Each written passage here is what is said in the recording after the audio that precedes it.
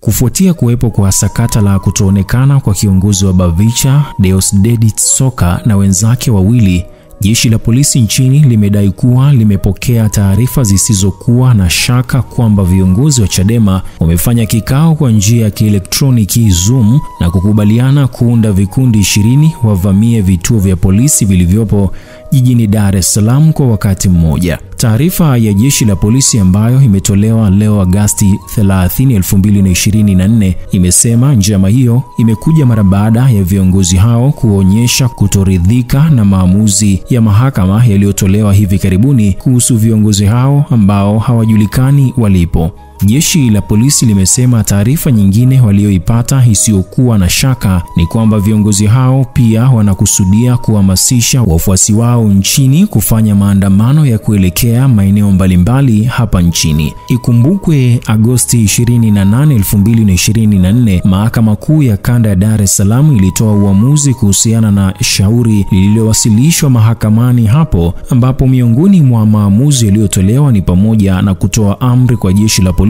kufanya upelelezi kujua walipo viongozi hao wasiojulikana walipo hadi sasa. Hata hivyo, jeshi hilo kupitia amri hiyo ya mahakama limekiri kuongeza nguvu katika upelelezi ambao ulishaanza toka awali mara baada ya kuripotiwa kupotea kwa viongozi hao. Kadhalika, jeshi la polisi limetoa onyo kali kwa yeyote atakayeendelea kuratibu kuhamasisha na kushiriki katika uhalifu huo wa kupangwa ambao imeelezwa lengo lake ni kutaka kuvuruga amani ya nchi. Sanjari na hayo, jeshi hilo limesema kwa msisitizo mkubwa kuwa atakayefika katika kituo chochote cha polisi kwa nia ovu wamejiandaa kumkabili ipasavyo kwa mujibu wa sheria. Jina langu ni Raymond William na hii ni Wepesi TV. Agosti 28, 2024, Mahakama Kuu Kanda ya Dar es Salaam ilitoa maamuzi yake kuhusiana na shauri lililokuwa amefikishwa mbele yake, na miongoni mwa maamuzi ambayo alitoa ni kutoa amri kwa jeshi la polisi kufanya upelelezi kujua mahali walipo viongozi wa baraza la vijana Chadema Bavicha eh, wa wilaya ya Temeke ambao ni Deusdedit Soka na wenzake wawili. Jeshi la polisi lilipokea amri hiyo na kuongeza nguvu katika upelelezi ambao ilikuwa limeshaanza baada ya kupokea taarifa za kupotea kwa watu hawa. Baada ya maamuzi hayo ya Mahakama Kuu, jeshi la polisi limepata taarifa za uhakika la za viongozi wa Chama cha Demokrasia na Maendeleo Chadema kufanya kikao kwa njia ya kielektroniki yani Zoom, na katika kikao hicho miongoni mwa mambo ambayo wamekubaliana ni kama ifuatavyo: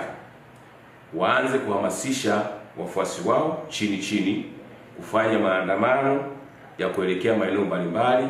na ofisi mbalimbali. Pili, wahamasishe na kuunda vikundi vya vijana wapatao ishirini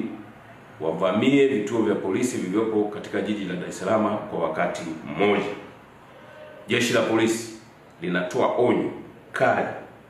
kwa yeyote yule atakayeendelea kuratibu, kuhamasisha na kushiriki katika uhalifu huo wa kupangwa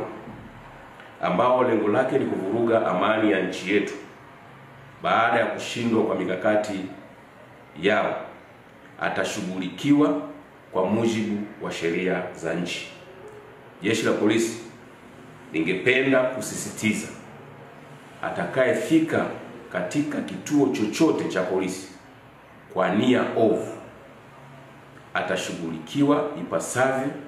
kwa mujibu wa sheria.